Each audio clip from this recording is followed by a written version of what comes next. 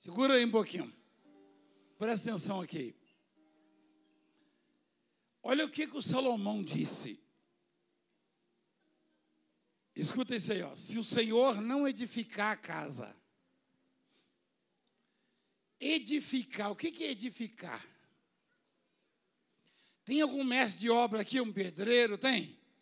Quem é pedreiro? Você é pedreiro? É mesmo? Você tem cara de meia colher. Hã? Mestre de obra aqui, rapaz? É? Você usa capacete azul, vermelho ou amarelo? Não, o branco. O branco é o dono. Eu já usei o branco porque eu era o dono da obra, entendeu? Da casa, eu usei. Que é do engenheiro, o branco. Mas o pedreiro, o, o mestre de obras, o engenheiro, o arquiteto, sabe.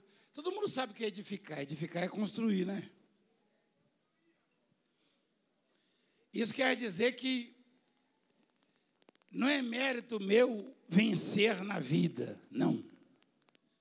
Se o Senhor não o quê? Não construir. O construtor, alguém que quisesse meter a construtor, não vai fazer direito.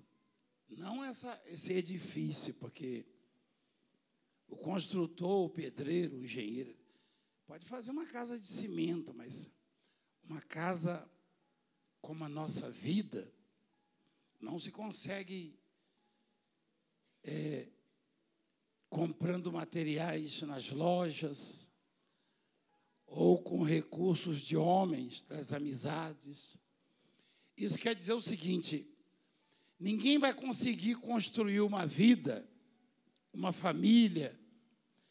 Ninguém vai conseguir vencer na vida porque é amigo do político tal, da autoridade tal, não. Porque o papai é isso, mamãe é aquilo, negativo. Você só vai ter um edifício, uma vida bem construída, bem edificada, se tiver a participação de Deus na sua vida. Somente. Ninguém consegue porque é parente desse ou daquele, porque é amigo desse ou daquele, esquece isso. Isso é besteira. Isso é para o obreiro, o pastor, o bispo. É. Nenhum bispo vai crescer na igreja porque é amigo do apóstolo. Isso não existe. Não funciona assim. O Salomão estava certo. Se o Senhor não edificar a casa em vão, você conhece a palavra aí, em vão? O que, é isso? Em vão quer dizer o quê? Inútil? Hã? É? Sem sucesso? É isso. Trabalham os que edificam. Se o Senhor não guardar a cidade, olha só. Você sabe quem era o Salomão? O Salomão tinha, nessa ocasião, ele tinha o exército mais poderoso da terra. É.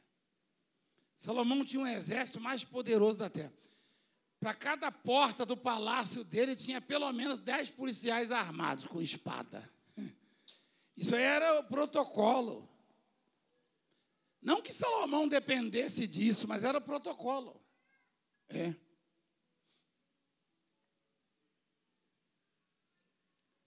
O general dele do exército deve ter falado assim, mas o rei é mal agradecido, porque ele está falando aí que se Deus não guardar a cidade, a gente guarda em vão, a gente dá um duro danado para cercar as fronteiras, entendeu? Para não deixar entrar droga, arma, isso, aquilo, inimigos. Eu tenho a impressão que ele fazia reunião com os coronéis, com os generais dele e falava: Ó, se vocês não orarem antes, nem adianta aí que vocês vão morrer. Então, viver pela fé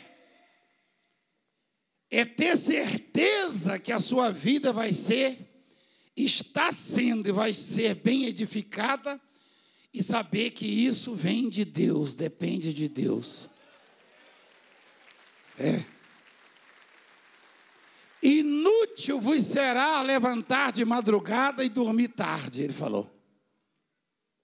Comer o pão que penosamente granjeastes ou ganhaste. Aos seus amados, ele dá o quê? Aos seus amados, ele dá? Enquanto dormem. Por que, que ele falou isso? Eu acho que não tem ninguém na história da humanidade que recebeu tanto milagre dormindo. Nem o Jacó. Quem sabia que o Jacó recebeu o milagre quando estava dormindo? Quem sabia? Por isso que aquela, aquela música, eu sonhei que tinha posto uma escada em minha vida, e cujo topo que tocava os céus eu via anjos descer e subir, e o Senhor. Amém. Foi por causa disso. O Jacó sonhou. Enquanto dormia, enquanto Jacó dormia, ele estava dormindo. Não sei como é que ele conseguiu dormir, é porque o sujeito, quando confia em Deus, ele dorme em qualquer lugar. É. Eu também já dormi em cada lugar, já dormi até em coreto de igreja católica. Mas eu não confiava ainda, não. Eu dormia porque não tinha lugar para dormir. Você acha que hoje eu durmo em Correio de Igreja Católica? Que dormir, eu durmo aqui na igreja. Na nossa, né? Então, quando, quando a pessoa confia em Deus, ela recebe milagre acordada e dormindo. É. Olha, Satanás, ele, eu já ouvi um testemunho assim que me abençoou muito. A mulher foi curada de uma enfermidade mortal, os rins dela secaram. Você viu isso aí? Os rins dela secaram. O médico falou: vou te encaminhar para hemodiálise. Não, doutor, não sei o quê. Aí vou fazer exame. Alguém falou para ela: Deus vai te curar. O bispo deu um abraço nela lá de Joinville o bispo lá de Joinville, deu um abraço nela. Deus vai te curar, minha filha. Ou então não sou de Deus. Ele aprendeu em algum lugar esse negócio aí. Aí, aí ele deu um abraço na mulher e a mulher foi fazer. Fez exame aí, antes de pegar os exames, doía. Os rins dela, do, oh, perdão, filha. Doía, doía, doía. E ela foi lá, ela falou: Meu Deus, será que. Alguém falava, confia, mas ela estava desesperada. Aquela lá não pode falar que foi curada pela fé dela, não, entendeu?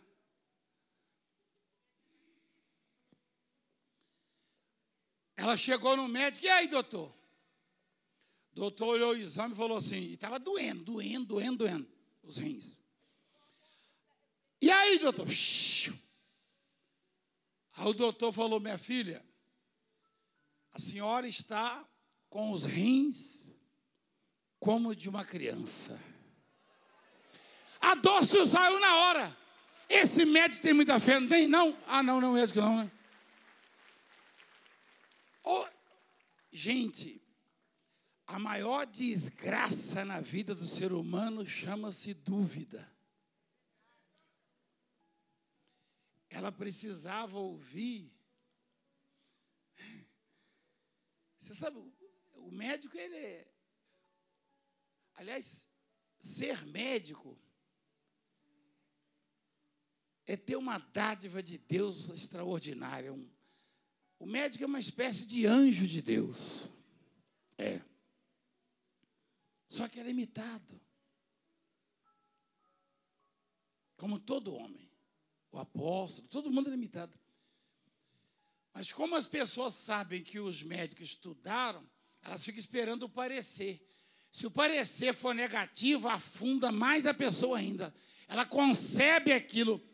Se o médico dissesse assim, ó, minha filha, seus rins acabaram, estão podres, ela caía durinha ali. Durinha. Mas porque está na cabeça, ela concebeu. O milagre é o seguinte: você concebe o milagre, gera o milagre, e aí dá a luz ao milagre. É. Essa nossa terapia espiritual, na verdade, é uma é uma gestação. Dentro de você está gerando uma salvação, um milagre de cura, um milagre financeiro, um milagre na família. Isso aqui é uma. Você está fazendo pré-natal. É pré-natal que chama? É uma gestação.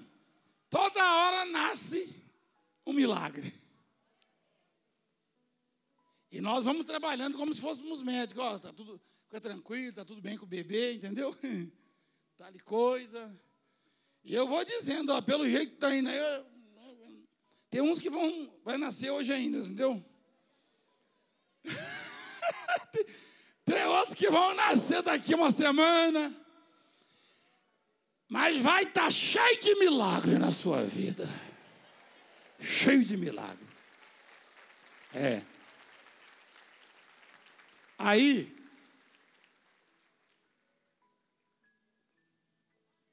o médico falou: seus rins estão como de uma criança. Aí na hora ela parou de sentir dor. Sei se passou aquilo. Vocês viram isso aí já hoje, não? Foi hoje, Santa Mara. Estava na cabecinha. Ela estava curada já, né? Como você também já está. É. Quando você entender que está, e assim é, é o milagre financeiro, é na família. Quando você conta com aquilo, é mais ou menos como o centurião, né? Jesus falou para o centurião assim, eu vou lá curar o seu criado. Ele falou, não, não, Senhor, eu, eu não sou digno, não. Manda com uma palavra. Ele falou, ah, então pode ir. O centurião já foi comemorando. Eu imagino como ele era um sujeito renomado, assim, muito conhecido. Colegas, soldados dele devem ter abordado ele no caminho. E aí, chefe? Batido continência. E aí, chefe? Aí, e aquele moço? Ah, já está curado. É? Mas cadê ele? Não, está em casa. Mas como é que você sabe que está curado? Você saiu de lá e não estava. Não, eu encontrei o Jesus, aí ele falou que já resolveu já. Aliás, já deve até estar trabalhando já. Né? Só estou indo para dar um abraço nele. Porque é assim que funciona. É do jeito que você crê que acontece. Então o Salomão ele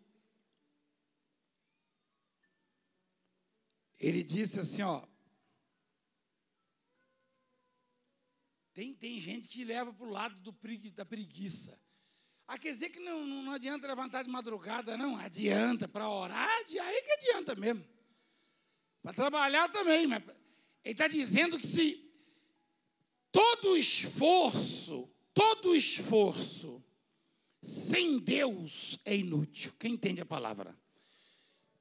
Do jeito que tem preguiçoso hoje em dia, tem gente que fala, vou ficar só na rede agora, eu tenho muita fé. É, vai. Amarra lá uma rede num pé de coco no outro, assim, ó. É assim que você fazia lá na Bahia? Amarra lá a rede. Ceará, amarra lá no. É do Ceará. Lá também tem pé de coco. Amarra de um lado do outro e deita lá. Vai trabalhar mais não? Não, estou cheio de fé. Daqui a pouco o seu olho tá, só está o, o, o olho arregalado, só o cambito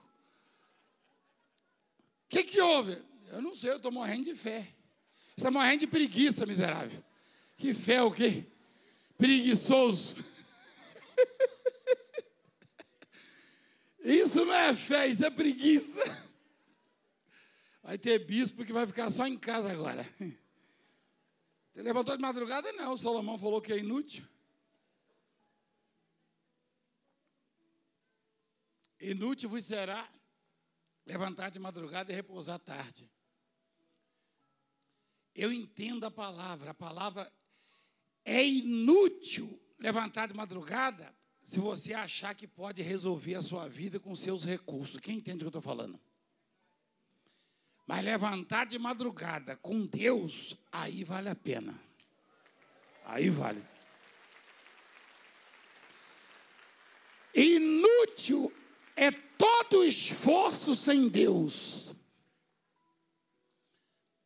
Aliás, é, ainda bem que antigamente as pessoas ficavam de fora assim. Hoje teve gente que fala, olha lá, fulano não fez nada, roubou, fez isso, olha lá como é que tem isso. Tem, tem nada, tem uma pelota amarrada no pé. Falei alguma besteira? Para quem é ignorante, não confia em Deus, aí fica olhando a vida dos outros. Olha lá, conseguiu. As... Primeiro que você não sabe da vida de ninguém, você não é juiz. Cuide da sua vida. Você não é juiz? É. Segundo, que ninguém, ninguém prospera sem Deus, isso eu garanto. Ninguém prospera sem Deus. Pode até conseguir ganhar dinheiro, vai perder tudo e vai ter desgosto. Desgosto. Desgosto.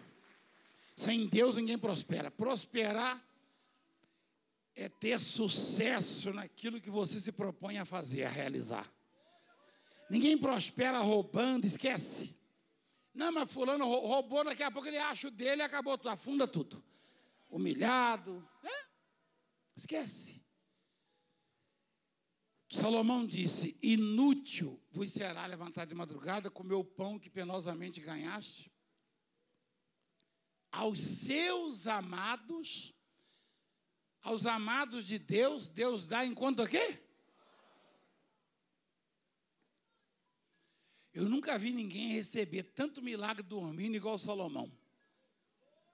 Eu também já recebi uns milagres aí dormindo. É. Teve, teve ocasi ocasião aí que eu estava aflito. Aflito. Aí tive que orar para dormir. Aí eu orei e dormi. Aí sonhei. E durante o sonho, meu Deus, eu, eu, eu fiquei tão maravilhado. Aí acordei e falei: Ah, Senhor, era sonho, né? Achei que já tinha resolvido já. Isso aqui mesmo. É. Naquela época lá, eu, eu me lembro que eu, eu sonhei as, as pessoas chegando de todos os lados.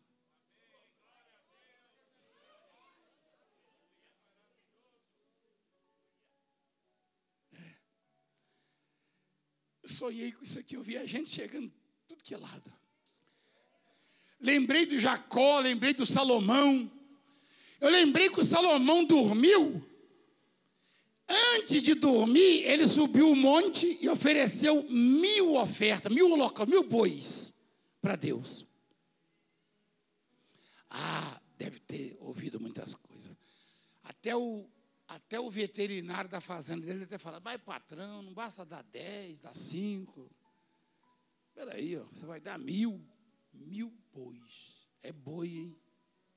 Não é boi para burro, porque é boi, né? Mas que boi é, né? É boi ou não? Mil. Uma boiada. E aí ele dormiu. Ele orou e foi dormir. Quando ele estava dormindo, apareceu o Senhor de noite, em sonhos. Disse-lhe: Pede-me o que queres que eu te dê. Mas é em sonho, peraí, igreja, é em sonho. Fica quieta aí, orelha. É em sonho. Aí, eu, eu falei, Senhor, tá certo que foi um sonho, mas. Mas o Salomão sonhou, e o Senhor mandou ele pedir quando ele acordou, ele acordou rico. é? Eu falei, o senhor dá em sonho. Aí eu me lembro que, quando saiu a decisão lá, e que nós conseguimos concluir aqui. Eu, eu lembrei do sonho, eu pensei assim: eu vou, eu vou chegar um pouco em cima da hora só para ver o povo chegando dos dois lados. Igualzinho. Eu me lembro o dia que foi inaugurar o metrô do Brás, parou tudo, só, só, só trazia gente. O diz que o pessoal do metrô falava, não estou entendendo, não, só vai gente para essa igreja. E o povo, dentro da, o povo feliz cantando dentro dos metrôs, dos vagões, e vindo do lado de cá, e o ônibus emperrando tudo, e parando tudo, e fechando tudo, igualzinho no sonho. Igualzinho. É? Você quer ver uma coisa? Ele sonhou e Deus apareceu para ele. Aí depois ele escreve esse Salmo 127 e diz assim: Aos seus amados ele dá. Ele estava mentindo, não? Mas ele tinha testemunho para isso? Tinha. Porque, olha, gente, eu já recebi milagre dormindo. Você também já deve ter recebido. É. Eu já recebi milagre dormindo, mas eu nunca vi ninguém receber milagre do tamanho dos de Salomão dormindo. Salomão só sonhou. É normal sonhar. E no sonho Deus falou: pede o que você quiser. E no sonho ele pediu: eu quero cuidar do seu povo, quero sabedoria. E no sonho Deus falou para ele: você vai ser o mais rico que a terra já viu, dito e feito. Nunca houve, nunca mais haverá alguém tão rico como Salomão. Gente, Salomão matava 30 bois por dia para o jantar. É isso mesmo? Lá na sua casa, no máximo, mata um, né? Ah, não?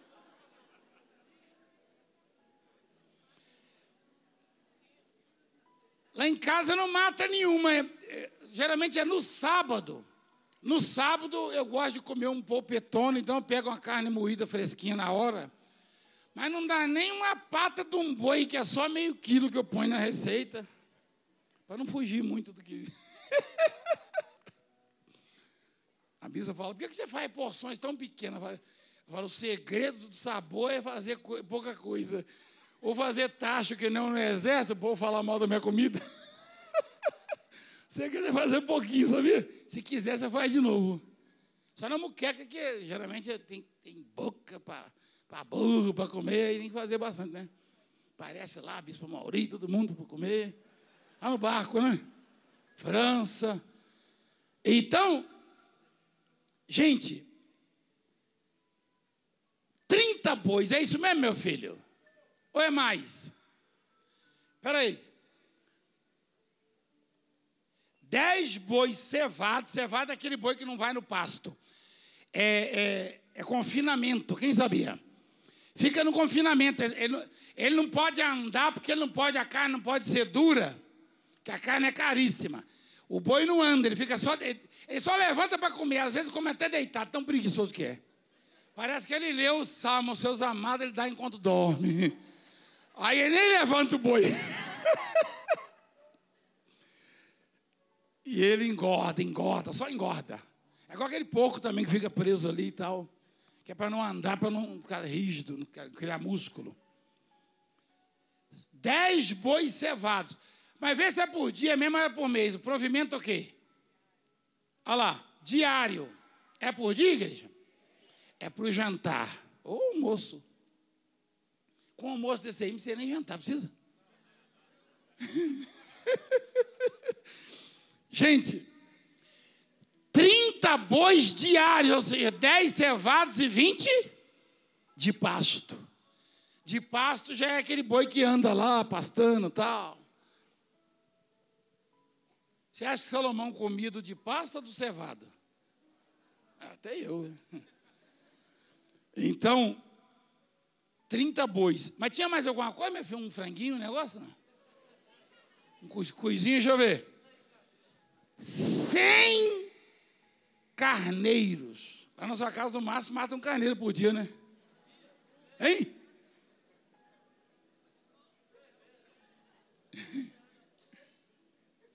Ah, mas lá em casa, galo, frango assim de caipira, um galo também, acho que é uma vez por semana, duas. E aí, dependendo do tanto de gente que chega, põe macarrão, que é para aumentar. Fica legal. Brincadeira. Mas, ó, cem carneiros é o que matava. Rapaz, tudo depois que o homem sonhou.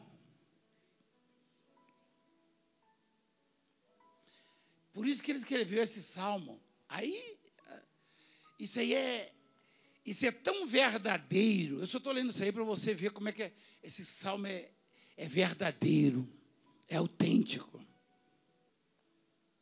Afora os veados, as gazelas. O que é veado e gazela? Os corsos? Quem sabe? Cabrito selvagem. Ele tinha uma equipe lá caçando para ele. E aves cevadas. Ih, aquelas galinhas que você engorda lá. Na roça é comum isso. Na roça tem até o. Minha mãe falava assim: ô filho, quando você levantar, você pega umas espigas de milho, debulha, dá até calo aqui, ó. Na, na. Quem já debulhou milho na mão? Você está doido, mas. Olha, fica, vai ficando vermelho, vermelho, daqui a vai estourar a bolha. Só que não era só para as galinhas. Aí, gente, a, a situação estava meio difícil. Passava um franguinho carijó, eu, eu já via ele assim com um cebolinho em cima, o negócio. Tadinho. Ele andando, eu percebi ele assim, sem a cabeça já, sem as penas sem as patas, e um negócio espetado assim, com a rodelinha assim, um, entendeu? Tipo, eu falo, mãe, aquele franguinho ali, mãe, tira o olho. E isso vai ficar para terreiro, sabe o que vai ficar para terreiro? Não? Para ser o galo do terreiro. Mas o Salomão, o almoço, isso aí é todo dia, todo dia isso aí, todo dia. Misericórdia, era gente demais, hein? O almoço de Salomão tinha mais gente que aqui na igreja. Você acha que a gente come, consegue comer 30 bois, eu e vocês? Não, nem, nem se a gente fosse onça, cada um fosse uma onça. Ah, nem se aqui tiver cheio de onça, de leão, né? 30 bois? É boi demais, rapaz. Eu acho que Aqui é o quê? Uns três bois, né, bispo? Aqui, não sei que está pretendendo fazer um churrasco para eles na noite do Abraão. Uns três bois, né? Quantos bois? Três? O jantar do Salomão tinha gente demais, não tinha? Gente, esse homem veio de uma família humilde. Humilde assim, a expressão nem é correta, né? Porque humildade não tem nada a ver com pobreza, né? Tem pobre orgulhoso para burro também, não tem? Você está louco. Tem pobre que passa perto de você e faz assim. Hum. Pensa num sujeito orgulhoso. Hein? Eu entrei no elevador, eu, o Valmir, o Vieira. Também o Vieira falou umas besteiras lá.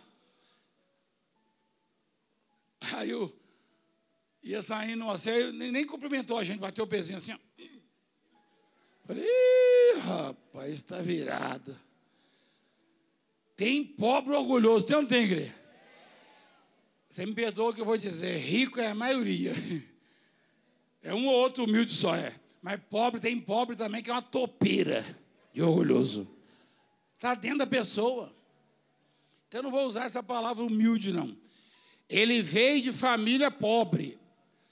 O Davi, o pai dele, vivia no meio do mato cuidando dos cabritinhos. Quem sabia disso? Imagina o Salomão quando falava, oh, mata, hoje parece que tem menos convidados, mata só 20 bois. Aí devia pensar no pai dele. O pai dele contava as histórias, filho. Para a gente conseguir tirar um leitinho das cabritinhas lá era difícil, meu filho. É, e toda hora chegava um urso, um leão, um bicho para comer. Davi pegava na unha com os bichos, já viu na, na Bíblia? Já viu? Era valente demais, não é não? Você está doido de encarar leão na unha, hein? Mas aí, Salomão sabia muito bem que aquilo lá vinha de Deus. O Salomão disse: Aos seus amados ele dá enquanto dorme. Com base em que ele falou isso? Na vida dele. Porque a mudança, a transformação aconteceu na vida dele quando ele estava dormindo. Mas com quem que ele sonhava? Com quem que ele sonhava mesmo? Ele sonhava com quem? Com o faraó? Com o Corinthians? Com São Paulo? Com o Neymar? Com o Valdemiro? Não. Tem gente que sonha com o Valdemiro. É melhor você consultar o doutor. Agora, ele sonhava com Deus, igreja. Se Deus aparece no seu sonho, pode estar certo que a sua vida vai mudar. É. Eu não sei se é preciso explicar, porque a gente emprega a exemplo do que o mestre fazia. A gente às vezes emprega também a usa a figura na linguagem, que é até mais fácil para entender, né? Mas o que eu quero dizer é o seguinte: se Deus ele está no seu sonho, pode estar certo que ele vai se realizar. Quem entende o que eu estou falando? Entende mesmo? Você entende? Põe o microfone para ele, pastor. Vamos ver, a escolinha do, do, do professor Valdemiro. Qual o seu nome, filhinho? Valdemar. Uai, quase, hein? Você mora onde? Eu moro em Guarulhos. Tô, de que sonho eu estou falando? Do sonho realizado. Através sonho? do Senhor, eu tenho não, conhecido... Não, não, não é dar testemunho, não. Daqui a pouco dá o testemunho. Eu quero saber. Eu falei, se Deus estiver no seu sonho, eu estou falando de que sonho? A mensagem tem a ver com, com, com sonho de dormir tem a ver, na sua opinião, com projetos de vida, com desejos? Um projeto de vida e desejo. Exatamente. Se Deus estiver no seu projeto, ele vai se realizar. Você entendeu, filhinho? Entendi, entendi, apóstolo. Entendi. Você está chorando? Lógico. Você está assustado comigo não, né? Não, porque através da palavra que o Senhor pronuncia na televisão, cada dia, eu tenho conhecido a Deus de uma forma especial. É? Eu aprendi a amar a Deus. Eu não conhecia. Mudou a minha vida e eu acredito Eita que vai Deus. mudar cada vez mais. Ô, pastor, esse merece um abraço. Traz ele aí.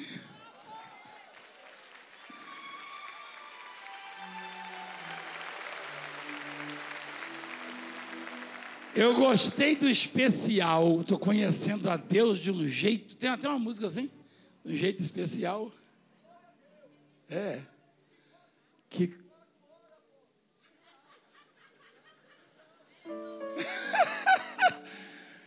Eita! A sua família? Parabéns, filhinho.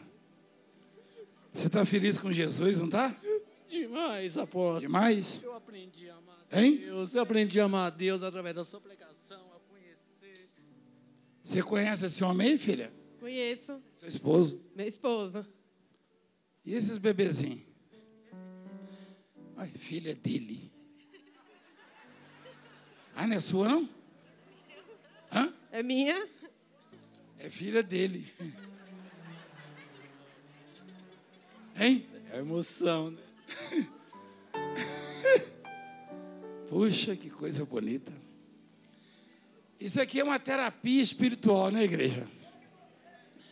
Vocês vêm para cá, vocês dão boas risadas, choram bastante, oram bastante, adoram bastante, louvam bastante e recebem bastante milagre. Tudo aqui é bastante. Ah! A única coisa que não é bastante aqui é o tempo, né? Você fica bastante tempo aqui? Fica, né?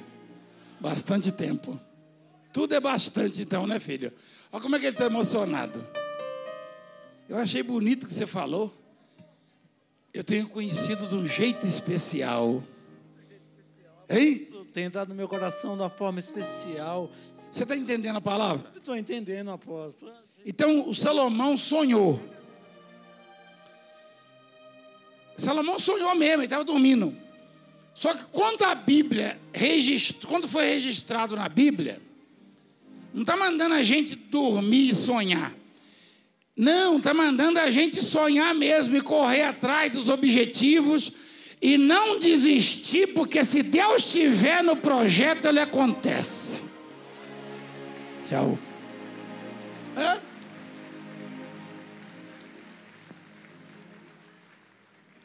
Aí,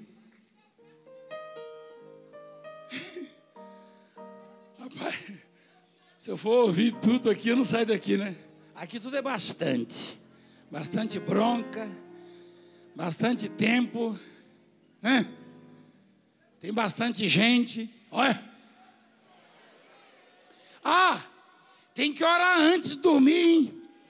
Olha lá para você ver. Eu vou buscar uma outra palavra Lá em Crônicas 7, 7, 12, é isso? Olha lá. De, de noite apareceu o Senhor a Salomão e lhe disse: Ouvi a tua. Ele apareceu depois de quê? Da oração. Se ele disse, eu ouvi a tua oração, porque ele apareceu depois da oração. E esse de noite sugere que ele estava o quê? Dormindo de novo. Mas Salomão era trabalhador, não era? É porque todo mundo tem que dormir uma hora, não tem? A bispo fala para mim, uma hora você vai ter que dormir. Falei, mas...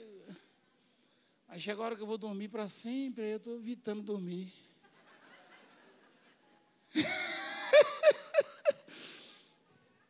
Então, não vai demorar.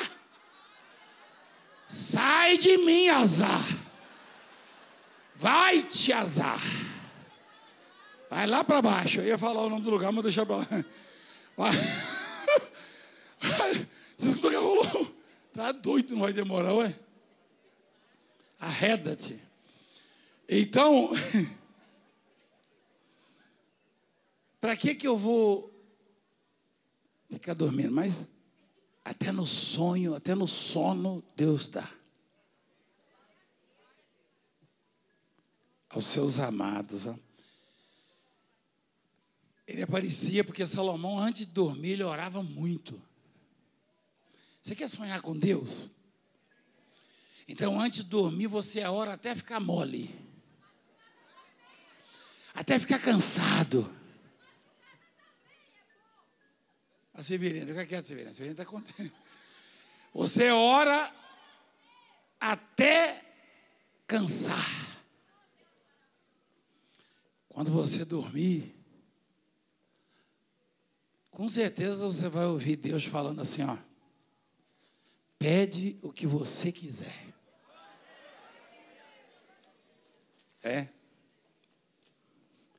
Pede o que você quiser. O que, que você tem nesse cartaz aí, filha? Olha o povo entrando na sua frente. Esse povo não perde tempo, não, rapaz. Ô, oh, meu pai. É por isso que eu disse, meu filho, você recebeu o seu milagre. Então, não, orienta ele, que já recebeu.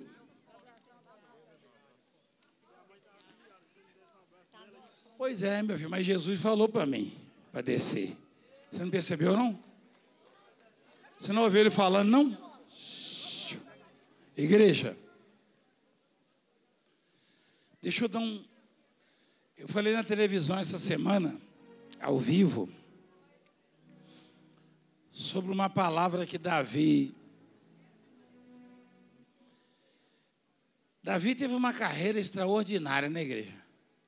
Quem, costuma, quem gosta da história de Davi? Quem gosta? Que história, ele sofreu muito também. Quem sabia que um dos filhos de Davi queria matá-lo? Quem sabia? Deve ser terrível, não deve na igreja. Meu pai. Ah, deve ser terrível. Hein? Você que já brigou com seu filho e ficou assim brigado, se sentiu muito mal, imagina, imagina você saber que o filho está esperando uma chance para te matar. Davi passou por isso. Ah, ele sofreu demais. Esse homem sofreu. Outra hora ele teve que esconder de, dos inimigos, fingir que estava maluco. Mas pensa num homem que amava a Deus, apaixonado por Deus. É. A Bíblia diz que ele lograva bom êxito em todos os seus empreendimentos, está escrito. Aí um dia ele, ele viu o povo sofrendo, igreja.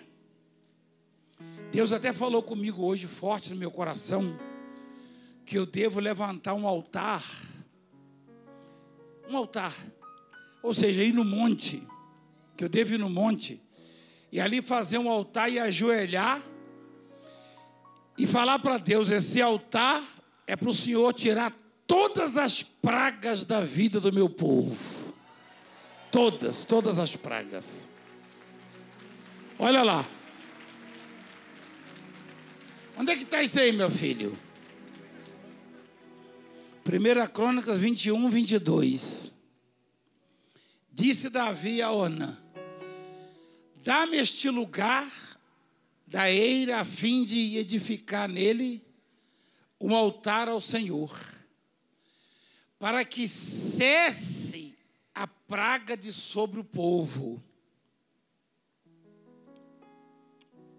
Dá-me pelo seu valor devido. Davi saiu procurando um, um sítio, um terreno, para fazer um altar para Deus. Qual era o objetivo mesmo, a razão daquele altar? Para cessar a praga. Quem acha que hoje no mundo tem muita praga em cima do povo? O desemprego é uma praga? A doença? Dívida? Guerra? Ih, então tem praga demais. Eu acho que tem mais praga do que no Egito, na época. É, o Brasil está cheio de praga. Meu Deus, eu lembrei de um negócio que eu até arrepiei. Minha mãe se irritava comigo e olhava, sai daqui, praga. Quem já, Quem já ouviu isso? Ô oh, doido. Rapaz, a tal da praga é terrível, hein? O mundo está cheio de praga, igreja. A guerra é uma praga, não é? é? A droga é uma praga, não é? É. Ai, Deus falou comigo. O Davi falou: eu, eu, quero, eu quero edificar um altar, fazer um altar para Deus. Fazer um altar para Deus para que cesse. O que, que, é isso, igreja? Cessar. Parar, né? A praga de sobre o povo, problema na família, filho nas drogas, filho preso, filho doente, isso tudo é praga. Isso vai cessar, igreja. Olha o que o Ornão falou para Davi, ó. Tome-a, falando da área lá da terra, ó ó meu Senhor, ó Rei meu Senhor, para si e faça dela, quer dizer, da terra, o que bem lhe parecer.